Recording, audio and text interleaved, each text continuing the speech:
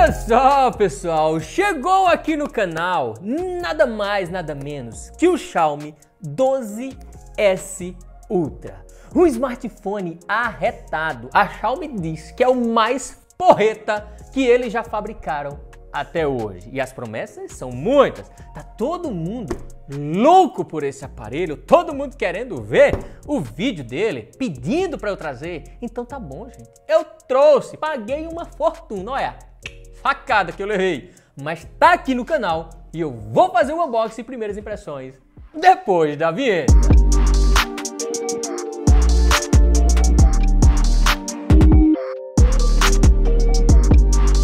Para vocês terem uma ideia, gente, a Xiaomi tá com uma besteira tão grande nesse aparelho que eles colocaram até IP68. Ele é a prova d'água, 100% a prova d'água. É aquele velho, aquela velha certificação que você pode mergulhar numa piscina com ele tranquilamente. Rapaz, para Xiaomi colocar IP68 no celular, eu vou dizer, realmente eles estão ali botando todas as fichas nesse aparelho. Xiaomi 12S Ultra no canal Gesiel Taveira já merece o gostei de vocês. Não, se não clicar no gostei, eu vou dizer, não merece nem estar tá assistindo o vídeo. Pelo amor, é, tomara que sua internet caia agora e fique travada aí. Não, calma, gente. Todo mundo eu sei, vai clicar no gostei. Quem não tá inscrito no canal já vai se inscrever e ativar o sininho para receber notificações sobre o novo vídeo. Mas vamos pro que interessa. Deixa de enrolação, Jaziel, pelo amor de Deus. Taca-lhe o dedo aí, abre essa caixa. Olha só, lembrando, gente, versão chinesa, tá, gente? Esse aparelho aqui eu comprei versão chinesa, não tem versão global ainda dele, então teve jeito não. Foi versão chinesa mesmo, como vocês estão vendo aqui. Já estamos vendo aqui o que? 12 GB de memória RAM e 256 de armazenamento interno. Lembrando que ele tem uma versão de 512. Aqui embaixo a gente já vê o que? áudio high-res e high-res wireless via Bluetooth, áudio de alta fidelidade tanto via cabo, né, via fio, quanto via Bluetooth. Isso é muito legal. E olha o IP68, bem pichototinho ali, IP68. Rapaz, Xiaomi tinha que fazer isso, viu? Em todos os celulares caros dela. Harman Kardon, né, o som, a assinatura da Harman Kardon, Dolby Vision e Dolby Atmos. Por aqui vocês já estão vendo que o bicho é porreta, rapaz. Eles colocaram algumas coisas aqui que realmente não, a Xiaomi não tem costume de colocar nos seus aparelhos principalmente o IP68. IP68 eu tô tentando lembrar aqui, recordar, mas não lembro. Bora, meu filho. Não lembro qual foi. Eu não lembro nem se eu já fiz vídeo de algum celular da Xiaomi com IP68. Eu, minha, minha memória é um lixo também, não, não dá para levar em consideração não. Mas não lembro. Mas já que você tem a memória arretada, Coloca aí nos comentários qual é o Xiaomi que tem, se você lembra o Xiaomi que tem IP68, certificação 100% à prova d'água. Já aproveita e coloca aí. E o seu Xiaomi favorito até hoje? Coloca aí nos comentários. Mas um detalhe que eu quase me esqueço de mostrar para vocês é isso aqui, gente. Leica, câmeras com lentes Leica. A Leica é uma marca que a galera paga um pau, né? Paga pau para Leica, que tal, câmeras profissionais e tudo mais. Então vamos ver se essas câmeras aqui estão arretadas mesmo, calibradas. Olha só, temos aqui aquela caixinha é, inicial que a Xiaomi coloca o quê? O manualzito e uma capinha, capinha como vocês podem ver aqui, simplona, né, velho siliconão aqui, mas é bom, né, gente? Eu gosto, eu gosto que venha a capa, por mais vagabunda assim, sem graça que seja. Eu particularmente acho muito bom quando vem, porque já dá aquela protegida. E aí vem aqui a chavinha ejetora para o slot do chip, que quase cai. Eu vou mostrar para vocês o slot do chip dele já já, porque agora nós vamos olhar é para ele. Ainda tá pesada a caixa, viu, gente? Pesada pra caramba, porque aqui dentro temos nada mais, nada menos que, lógico, o celular que tem uma tampa de bueiro que não tem tamanho. Olha o tamanho disso aqui, meu Deus do céu. A riego, é uma chapola. Olha isso, gente. Presta atenção no detalhe aqui, ó. Presta atenção no detalhe.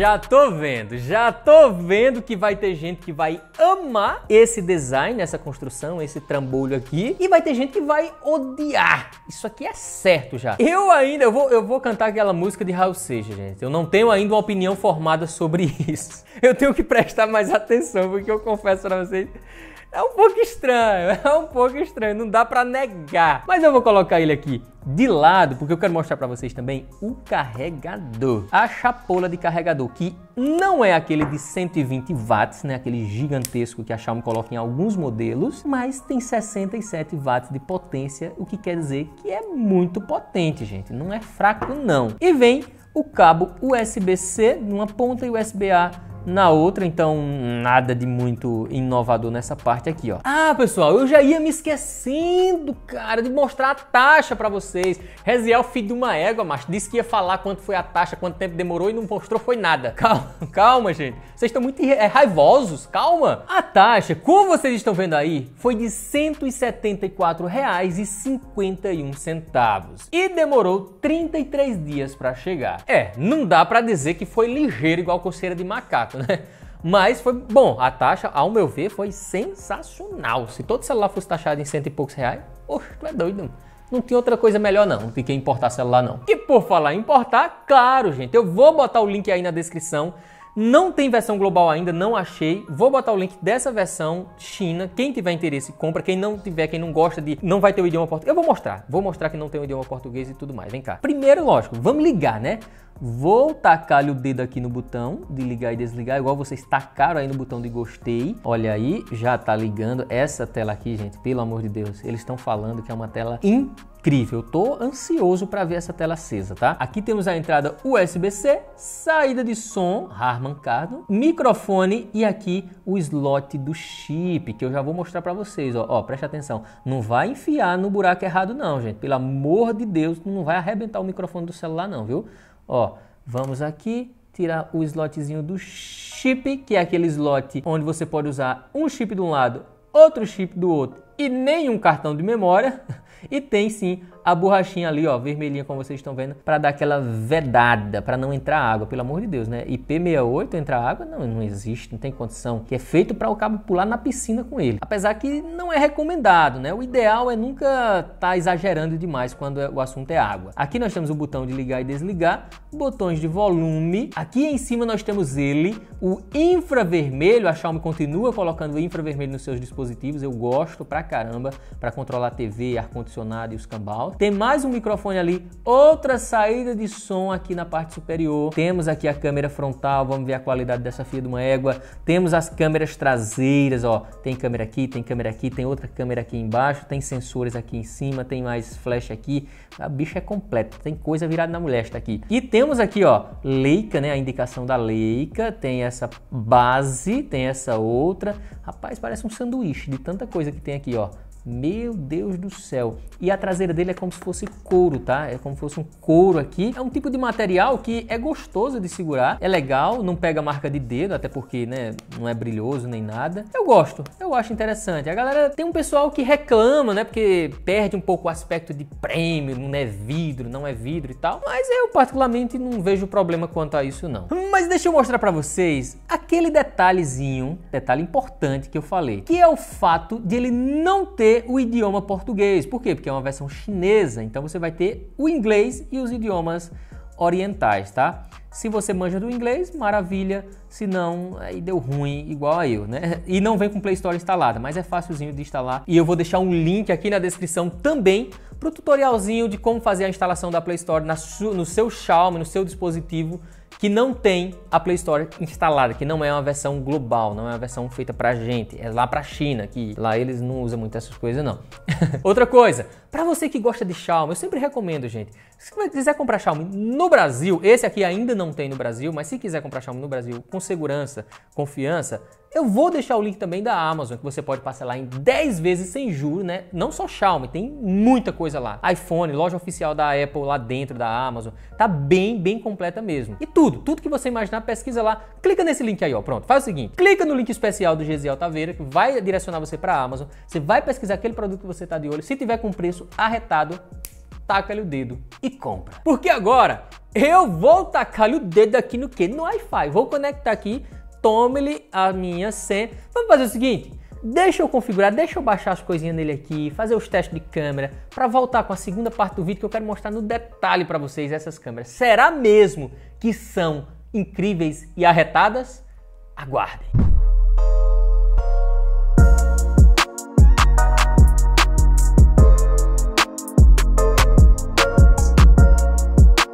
Agora nós vamos falar sobre a tela desse smartphone, que inclusive é uma tela fabricada pela Samsung. E o modelo dessa tela, a Samsung chama de E5, que já já eu falo para vocês uma característica incrível que essa tela tem. Mas vamos começar falando pela tecnologia, que é o AMOLED, a resolução que você pode optar por Full HD ou 2K. É, gente, ele sai ali do Full HD e pode chegar até a resolução 2K, entregando aí uma qualidade de imagem ainda melhor. Essa tela conta com várias outras características, como por exemplo, um pico máximo de brilho que pode chegar ali a 1500 nits, mas se falarmos aí do brilho da tela como um todo, é algo em torno ali de 1000 nits, que já é uma claridade ali muito boa. Inclusive dá para você usar aí debaixo do sol forte e você ainda vai enxergar perfeitamente. E aí ela vem com toda aquela tecnologia, né, que é o HDR10 Plus, é uma tela de 10 bits, Dolby Vision, entre várias outras coisas, que vai lhe entregar uma experiência ainda melhor, principalmente se você estiver usando aplicativos compatíveis, né? Filmes aí do Netflix, Prime Video, entre vários outros, que já tem vários filmes e séries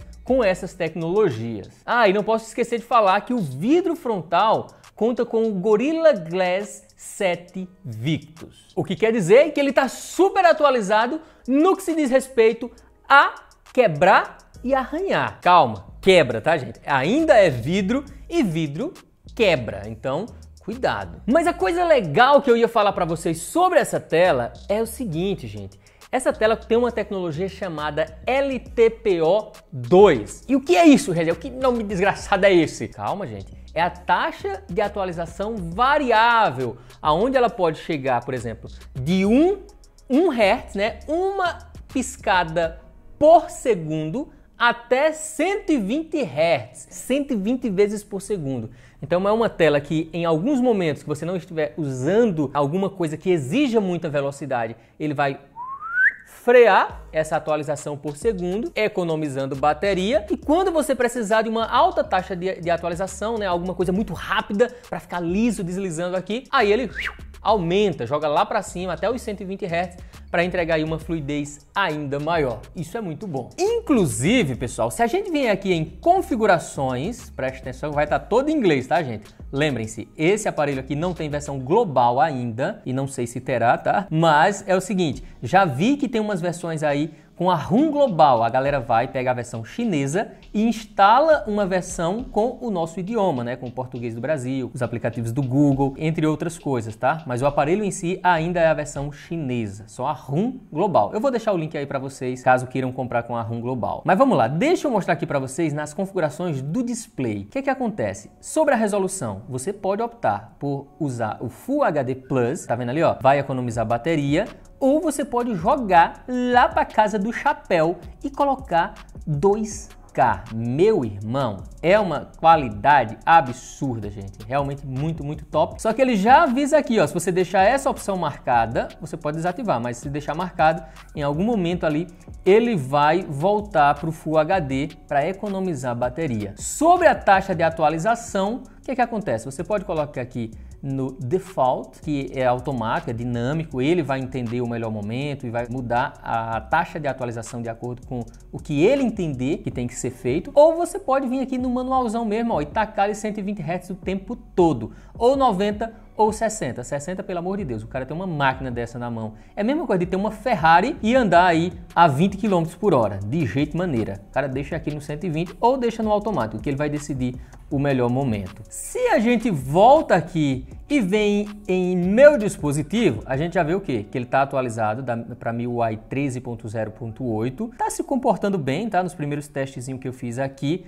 Aqui em armazenamento a gente já vê o que? 256 GB, lembrando que existe a versão de 512, caso você queira. E temos aqui ó, o modelo do aparelho, memória RAM 12 GB de RAM mais 3 GB de RAM Plus, que ele pegou emprestado da memória interna, que é o UFS 3.1, então é uma memória extremamente rápida. A tela de 6.73 polegadas, que eu acabei esquecendo de falar para vocês, podendo chegar ali até 2K de resolução. A bateria é de 4.860 mAh, que não é gigantesca, mas também não é fraca, é uma bateria boa se você configurar direitinho, não colocar muito aplicativo que fica rodando em segundo plano, vai ser uma duração aí bem, bem legal mesmo ali para um dia de uso. O processador é o Snapdragon 8 Plus Gen 1, a máquina né, é o mais potente do momento enquanto eu estou gravando esse vídeo, não existe outro processador para Android mais potente do que esse. As câmeras, frontal 32 megapixels, as traseiras 50, 48 e 48. Eu mostro já já para vocês a qualidade dessas câmeras e se realmente são arretadas. Mas já que eu falei de bateria, eu lembrei aqui de um detalhe muito importante que esse aparelho tem e que, na minha opinião, qualquer smartphone de intermediário prêmio para frente, né, para top de linha, tem que ter essas coisas, gente, que é o carregamento sem fio, colocou em cima da base ele já começa a carregar. Aí você diz, ah, Gisele, isso aí muitos celulares têm. Verdade, concordo com você. Mas e o carregamento reverso sem fio? Hã? Esse aí poucos aparelhos têm. E ele tem essa opção. Se liga só, se a gente barra, é, baixa aqui a barra e vem para cá, a gente vem ó, Reverse Wireless Charge. A gente clica aqui, ele vai dar um aviso, se tiver abaixo de 30% não vai é, funcionar. É, você pode colocar até para 20%, né? Até 20% ele vai funcionar. E aí você pega, olha só, um outro celular que tenha suporte né, ao carregamento sem fio e coloca aqui em cima. Colocou aqui em cima, olha só, já está carregando, cara. Isso é sensacional. Já só carrega celular? Não. Você pode carregar, por exemplo, um fone de ouvido, ó. Colocou aqui em cima, presta atenção, ó, tem que, tem que virar, verificar, olha, ó, a posição, tá? Tem que ver exatamente o lugarzinho ali, mas já tá carregando como vocês estão vendo aqui. Aí você deve estar tá se perguntando, gente, Gesiel, rapaz, bicho, mas é rápido, é? Carrega ligeiro igual coceira de macaco? Não. Esse carregamento reverso oferece uma carga máxima de até 10 watts de potência, que não é ruim, tendo em vista que é um famoso chupeta, né? Você tá ali só correndo ali um fone de ouvido, um outro celular de um amigo, uma coisa ou outra. Agora, o carregamento dele, né, na base, você tá com sua base ali, você colocou ali, se a base fosse extremamente potente, podendo chegar ali até 50 watts de potência, ele vai suportar toda essa carga que está entrando nele. Ele suporta até 50 watts sem fio. Isso é absurdo, gente. Meu Deus do céu. Com fio, como vocês viram, o carregador que vem dentro da caixa é de 67 watts e carrega extremamente rápido. Inclusive, a Xiaomi fala que com fio na potência máxima ele carrega em 40 de 0 a 100 em 41 minutos e sem fio na potência máxima ele carregaria ali em 52 minutos. É uma diferença aí de 11 minutos que na minha opinião é incrível, né, gente? Sem fio, carregar quase na mesma velocidade de com fio é caceteiro. Mas uma coisa que eu não posso deixar de mostrar para vocês nesse aparelho é a potência em jogos, né? Olha só, deixa eu desbloquear aqui. Deixa eu desativar. Não, não quero mexer nisso. Ah, já está desativado aqui o carregamento reverso sem fio. Tem o NFC ali, ó. E tem várias outras coisas, como por exemplo Dolby Atmos, que tem uma qualidade sonora muito top esse aparelho, realmente muito top. Mas o que eu quero mostrar para vocês é o Game Turbo. Eu vou abrir aqui o Game Turbo, que ali é Game Turbo e aqui é Game Space, né? O aplicativo tem o nome Game Turbo e aqui na introdução é Game Space. Instalei aqui Apex Legends, instalei o COD, instalei o PUBG, que vocês tanto pedem tudo. Testamos aqui, jogamos e o bicho roda com os pés nas costas, gente. A realidade é essa. Só o COD, né, que eu achei um pouco estranho. Eu vou até abrir o, o Apex, vocês já estão abusados do COD. Mas o que era que eu... Meu Deus do céu, é muito alto, velho. Meu Deus do céu. O COD, gente, tá rodando a 60 FPS. Infelizmente, ele ainda não tá preparado, né? O, o aplicativo, o jogo em si, não tá otimizado para rodar na potência máxima, em 120 FPS, 110, 90 e poucos, por aí, como acontece em alguns outros aparelhos, tá? Infelizmente, não é o caso aqui, mas o Apex Legend roda numa qualidade muito top. Ele consegue ali, eu, eu vou mostrar, deixa, deixa, olha lá, consegue rodar em vários momentos acima de 100 FPS, ó, 105 FPS, 102. Olha só, pessoal, começou aqui, botei o personagem para correr, vou abrir aqui, preste atenção, 81 FPS, 112 FPS, 96 FPS por segundo. Cara, é muito rápido, realmente ele roda numa qualidade tanto uma qualidade muito top quanto, ó, toma-lhe bala, toma-lhe bala. E essa arma aqui é devagar demais. Tu é doido, rapaz. Ó, ele roda numa qualidade muito, muito boa e no...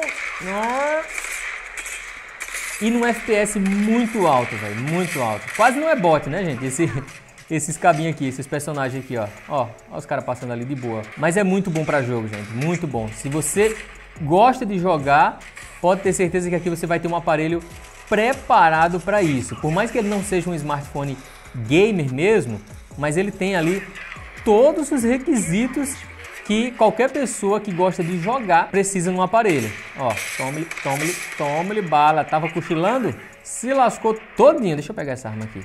Ó, vamos ver se essa arma é melhor. Olha, tome-lhe. Pera aí. Ei, volta aqui, volta aqui.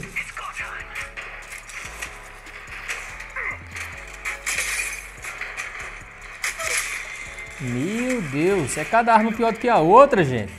Bota aí nos comentários qual é a arma caceteira, vai. Então, como vocês viram, o bicho é arretado, gente. Não é para menos, né? O processador que nós temos aqui é o que há de melhor nesse mundo aqui, no mundo dos smartphones com Android. Agora sim, pessoal, uma coisa que a gente tem que ter em mente é que não é um aparelho extremamente confortável de se usar. Nós estamos falando de um celular que pesa 225 gramas e que tem esse catombo da câmera aí que vocês estão vendo muito, mas muito sobressalente, fazendo com que fique ainda mais desconfortável. É claro que quem vai comprar um smartphone desse já tem isso em mente, está preparado e diz: Não, Gisele, é isso que eu quero. Dane-se se ele é pesado, se ele tem esse mondrongo aí, mas eu acho massa desse jeito, eu acho estiloso, eu quero essas câmeras. Quem falar em câmeras, pessoal, nós vamos testar agora. Quer dizer, eu já testei e eu vou mostrar para vocês, mas eu me decepcionei com um detalhe, um detalhezinho besta que a Xiaomi, ao meu ver, tá vacilando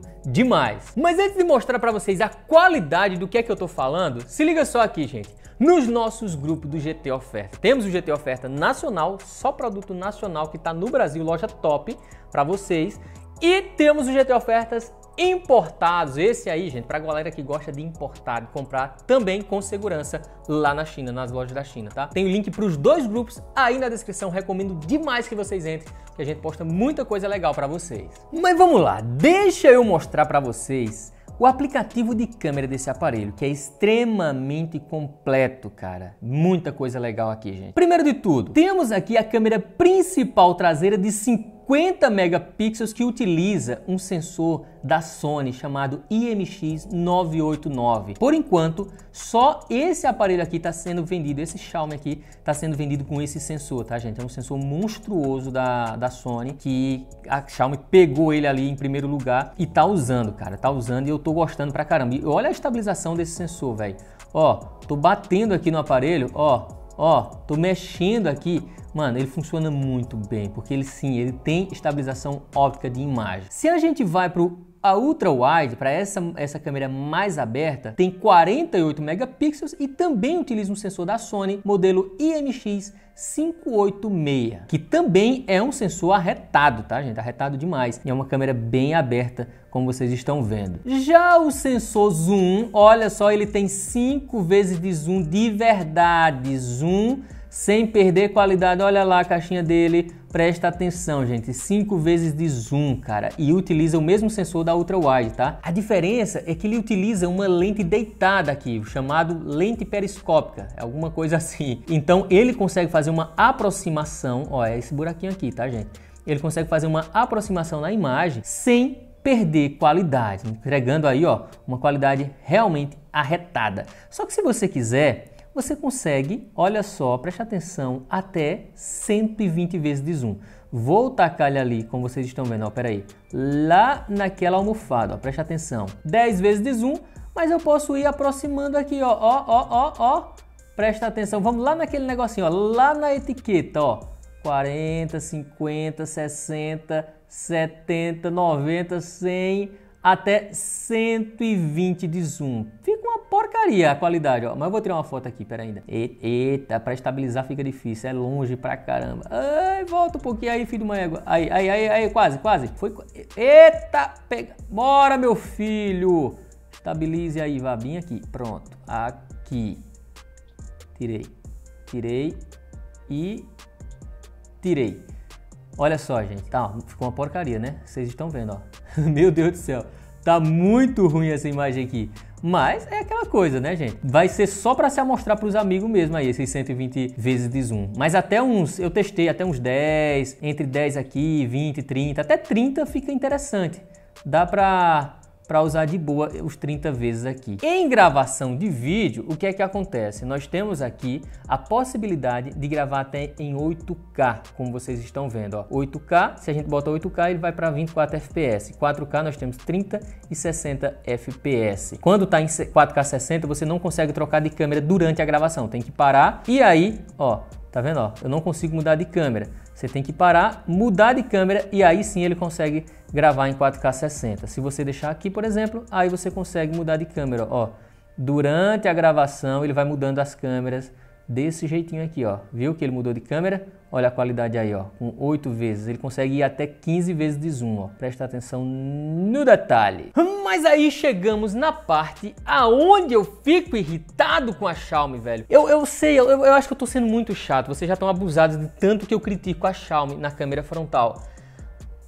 Mas, gente, eles colocaram câmeras Sony aqui atrás, câmeras sensacionais, câmeras realmente top top mesmo. E aí na câmera frontal, que é uma câmera que a galera usa demais, né, para fazer selfie, para fazer TikTok, para fazer os cambal, eles botam uma câmera de uma marca chamada Omnivision, que geralmente essas câmeras são mais colocadas em aparelhos mais de entrada, mais baratos. Como assim, Xiaomi? Economizar na câmera frontal? Complicado, né, fia? É complicado. E outra coisa, vem comigo que eu vou te mostrar o, porquê que eu ainda estou mais irritado ainda. Temos aqui Câmera frontal, já se eu grava 4K, grava nem a pau, Juvenal. Olha só, Full HD 30, nem Full HD 60 não suporta. Não é um filho de uma égua um negócio desse?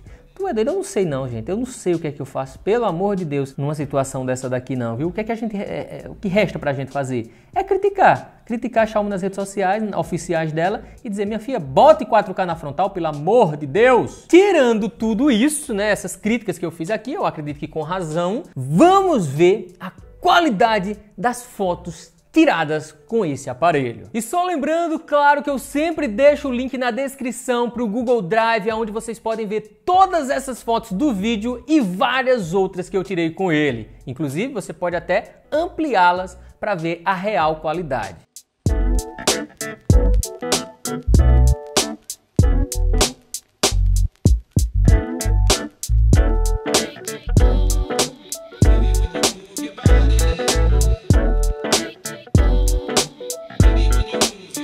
Agora chegou a hora de a gente testar a qualidade de gravação de vídeo desse aparelho, porque sim, ele é um monstro.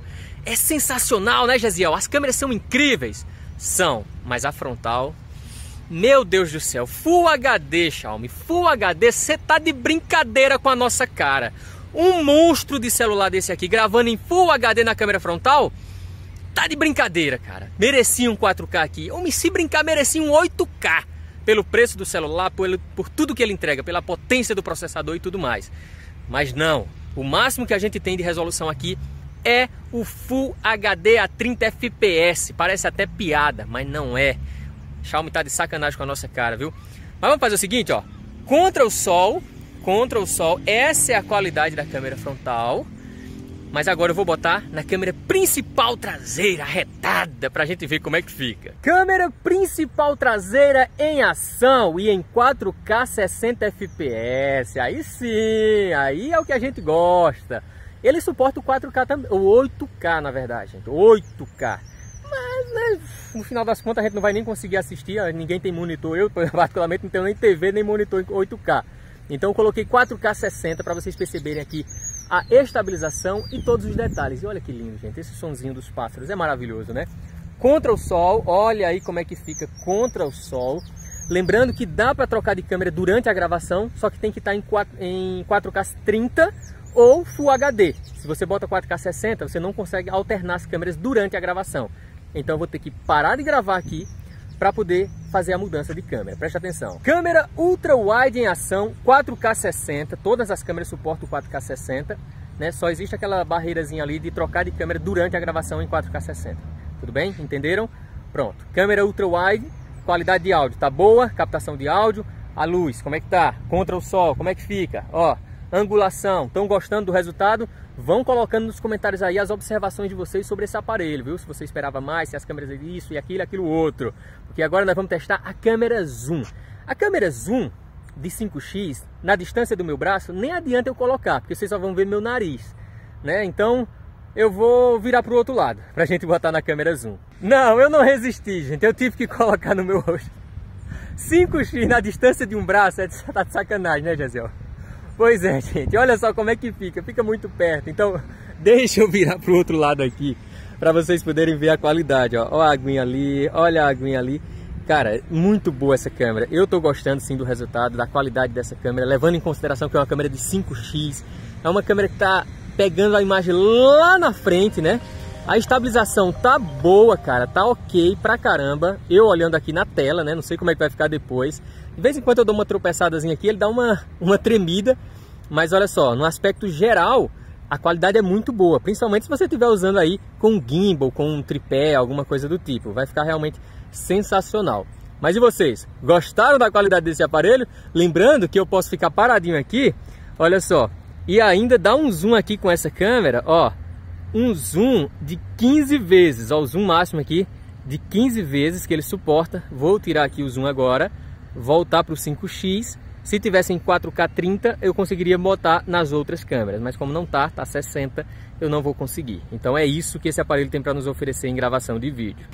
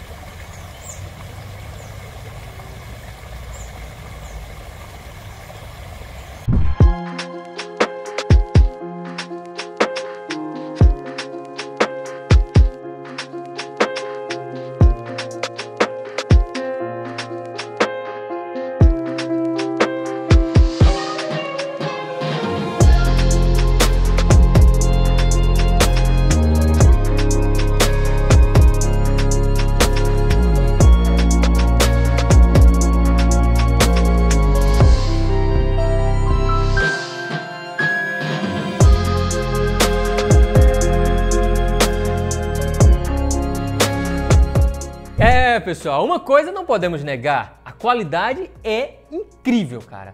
Quando a Xiaomi diz, vamos colocar aqui uma qualidade top, ela coloca. O problema é que ela não ela não diz isso na câmera frontal. E aí realmente eu fico com essa essa chateação. Outra coisa, não sei se vocês perceberam, mas existe ali uma discrepância de cores, né, de tonalidade quando muda de uma câmera para outra entre as três câmeras traseiras. Por exemplo, a Apple consegue calibrar quase que perfeitamente as cores, a calibração de cor, todos os detalhes, para quando você mudar de uma câmera para outra, não ficar tão perceptível, não ser algo tão abrupto assim. As cores da câmera ultra wide para a câmera principal para a câmera zoom.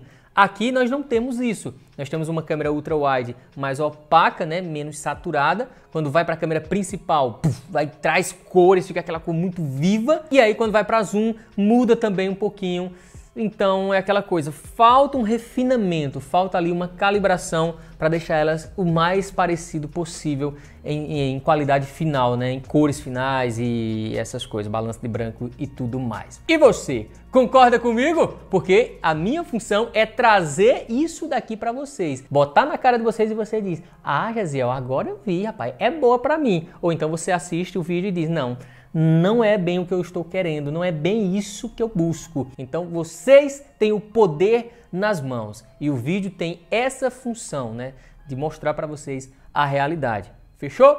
Então é isso, gente. Valeu, muito obrigado pela audiência de vocês. Eu vou ficando por aqui. Um forte abraço e tchau!